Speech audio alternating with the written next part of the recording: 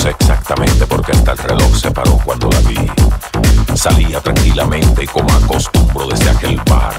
La calle estaba desierta y me sorprendió tanta oscuridad. Y casi sin darme cuenta, en plena calle una puerta se abre y ella aparece como una luz. Y de pronto me mira y sus ojos me dominan.